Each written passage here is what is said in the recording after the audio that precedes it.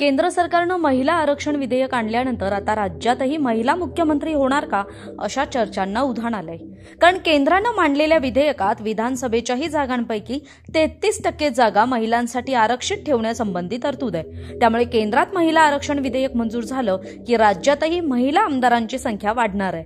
म्हणजे सध्याच्या घडीला राज्यात चोवीस महिला आमदार आहेत. पण हे विधेयक मंजूर झालं तर दोनशे ब्याऐंशी पैकी तेहतीस टक्के जागा महिलांसाठी आरक्षित होतील आणि महिला आमदारांची संख्या शहाण्णववर पोहोचेल. महिला आमदारांची संख्या चौपटीनं वाढल्यास राज्यातील प्रस्थापितांना याचा मोठा धक्का बसू शकतो आणि परिणामी राज्याला पहिली महिला मुख्यमंत्री सुद्धा मिळू शकते असं बोललं जात आहे.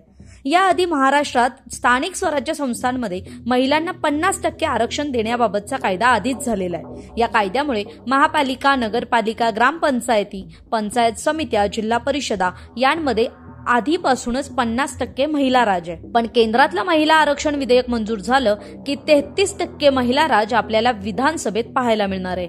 या बदलामुळे मुख्यमंत्री पदाची आस धरून बसलेल्या काही प्रस्थापितांना मोठा धक्का बसू शकतो.